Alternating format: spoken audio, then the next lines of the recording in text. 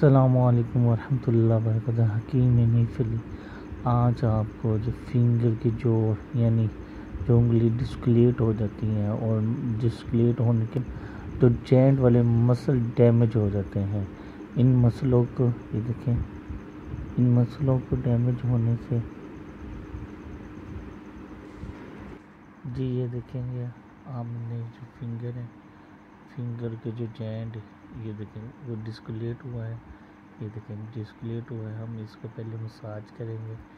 डिक्सलोन के इसको जो लेगामेंट्स है वो सारे फटे हुए हैं, जोड़ भी उतरा हुआ है। हम सबसे पहले इनको जोड़ को मेंटेनेंस करेंगे पकड़ के। ये देखें, जैन डिस्कुलेट होने की वजह से ये मसल भी लेगामेंट्स भी फट जाते हैं।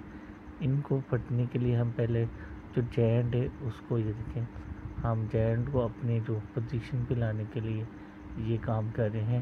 ये देखें, अंगूठे के साथ हम दबा रहे हैं और ये देखें, ये इससे आप फिंगर से, आप टिप से चेक कर सकते हैं। जैंड अपनी तरफ़ से आ जाए। ये देखें जैंड आगे से बहुत बेहतर है और अपनी पोजीशन पे आ गए हैं। हमें इसको मूव करना है। ये देखें मूव करते हुए जैंड को अपनी तरफ़ खींचना है। जैंड को पकड़ा हुआ है। ये ऑयल लगा के इसको मूवमेंट करेंगे। जेंट को पीछे की तरफ़ मूवमेंट करते हुए, हरकत करते हुए इसको नीचे दबाएँगे। यहाँ और जैंड को दोनों फिंगर से ग्रिप करेंगे ताकि इसके जो डिस्कुलेट हुआ है मसल डैमेज अपनी जगह पे आ जाए। हम स्टे करेंगे, ये देखें। मूवमेंट करते हुए स्टे करेंगे, देखें। ये बहुत बेहतर हो गया है। चैन जो डिस्कलेट हुआ था, आउट हो गया है।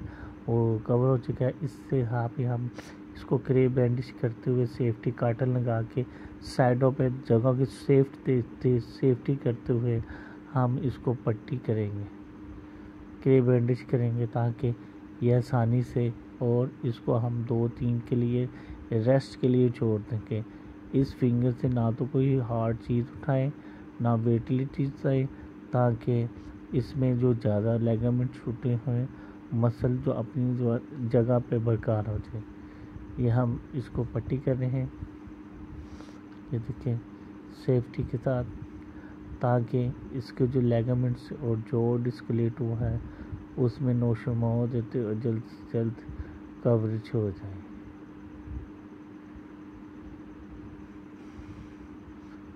ये देखें ये क्रैप बैंडेज हो रही है। हम अपनी मुताबिक के सैया से हम इसको नॉलेज फ्राम करें। ये देखिए सेफ्टी के साथ जो हमारी डिस्कलेट हुई फिंगर और लेगमेंट्स फटे हुए थे उसको हमने सेव करके जोड़ दिया है और इसको सेव कर दिया है। इसके साथ हकीम निल्फ को इजाज़त आने वाली नई वीडियो को लाइक और सब्सक्राइब करें। अल्लाह हाफिज़।